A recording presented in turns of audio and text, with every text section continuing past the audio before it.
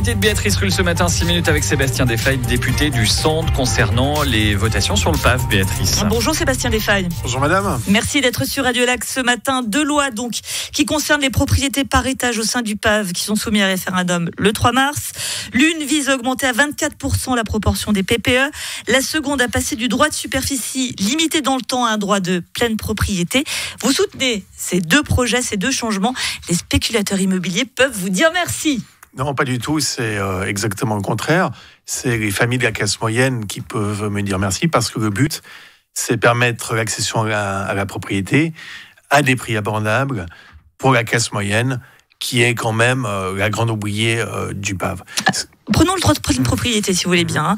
Hein. il permettrait donc aux, propriétaires, aux propriétaires privés pardon, de les revendre au prix du marché dans 10 ans on va pas se cacher, dans 10 ans, le prix de l'immobilier à Genève aura augmenté. Il y aura donc une juteuse augmentation alors qu'ils l'ont acheté à un prix de faveur actuellement qui est assez modéré. Si ça ne s'appelle pas de la spéculation immobilière, Sébastien Desfailles Alors pas du tout, non. C'est euh, des familles qui ont envie d'accéder à un logement. Elles ont envie de l'acquérir et de le transmettre. Une famille n'a pas l'intention, quand elle achète euh, un bien, de le vendre dans 10 ans. On regarde, dans, on a d'autres exemples dans les périmètres en zone de développement. Les familles restent parce qu'elles se plaisent dans, cet endroit, dans ces endroits et parce qu'aussi il n'y a pas d'autres opportunités euh, d'acquérir des, des, logements. Quand on acquiert un bien immobilier à Genève, quand une famille achète un appartement, c'est pour garder, c'est pas euh, pour le revendre dans 10 ans euh, dans l'espoir d'un hypothétique, d'une hypothétique plus-value. En 2018, on a voté pour accroître le nombre de logements à loyer abordable sur les terrains du PAV en doublant les logements et en réduisant les bureaux. Euh, les PPE, c'est pas vraiment ce que l'on entend par loyer abordable. On pense au locatif. Alors, ce qu'il faut voir, c'est que le PAV, c'est le dernier grand périmètre euh, constructible de Genève. C'est un des plus grands projets urbanistiques européens de ce siècle. Et il ne faut surtout pas se rater. Et un des enjeux du PAV, et c'est pour ça qu'on a, qu'on a déposé ces projets, c'est de, de répondre aux besoins de l'ensemble de la population. On ne doit pas simplement construire euh, des RUP, c'est-à-dire des, des, logements d'utilité publique, des logements sociaux. On doit répondre aux besoins de toute la population, y compris la classe moyenne et la classe moyenne supérieure. Actuellement, le PAV, ça va être euh, une banlieue française, ce que vous êtes en train de nous dire. Alors, Parce que ce serait abordable, ce serait forcément des gens pauvres, des gens... Hein. Alors, par rapport aux RUP, c'est vrai que pour euh, pouvoir accéder euh, à ce type de logement, il faut soit ne pas avoir euh, des revenus, soit des revenus, des revenus suffisamment bas qui permettent de répondre aux critères d'attribution de ce type de logement. Mais ce que je veux dire surtout, et c'est là le message de ces deux projets de loi, c'est quand on a un périmètre aussi grand qui est le dernier du canton, il faut répondre aux besoins de toute la population y compris les familles de la classe moyenne qui cherchent à acquérir un logement. Alors là, il y a des familles de la classe moyenne qui nous écoutent et qui se disent ben, incroyable, on aimerait acheter à Genève, c'est inabordable. Là, il nous le promet au PAV. Là, c'est combien? Alors, selon les, statistiques euh, de l'Ogstat, en 2022, le prix médian en zone de développement, hein, zone de développement, c'est-à-dire des zones où l'État fixe les prix et contrôle les prix.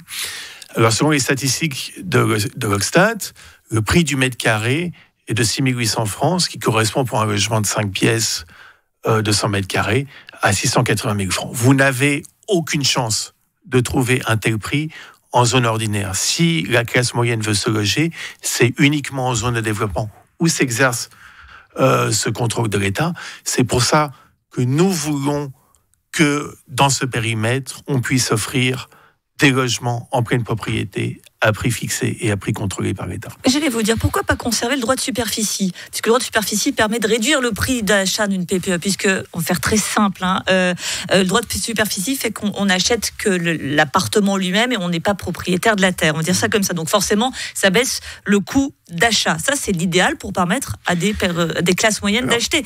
Euh, c'est le, deuxième, le deuxième projet de loi qui ne vise pas à, à supprimer le droit de superficie, mais à fixer des conditions claires pour que le droit de superficie soit plus abordable pour la classe moyenne. Alors, ce que propose le deuxième projet de loi, c'est d'abord, au lieu de fixer un droit de superficie de 60 ans, on le porte à 99 ans. Vous devez payer une rente par mètre carré au lieu qu'elle soit fixée à 32 francs. Nous la fixons à, 32, à, à 10 francs le mètre carré. Et puis enfin, euh, la loi précise les conditions auxquelles euh, bénéficiaire du droit de superficie est indemnisé au terme de cette période de 99 ans. C'est précisément pour renforcer le droit de superficie et pour euh, déterminer des conditions claires pour qu'à la fin de ce droit, euh, celui qui en a bénéficié pendant 99 ans ne se fasse pas rincer par l'État. Pour terminer, vous l'avez dit, le PAF, c'est le dernier grand projet immobilier à Genève, c'est possible pour, pour plein de raisons. Euh, c'est aussi le dernier Eldorado pour les milieux immobiliers, Sébastien Desfailles. Soyons clairs. Ce que l'on, ce que l'on défend, ce que l'on défend, c'est la classe moyenne. Moi, je, je, je, m'en, je m'en fiche des milieux immobiliers. Ce que je veux simplement, c'est qu'on puisse construire pour toute la population à des prix abordables et c'est la dernière occasion de le faire. Vous allez acheter au PAV?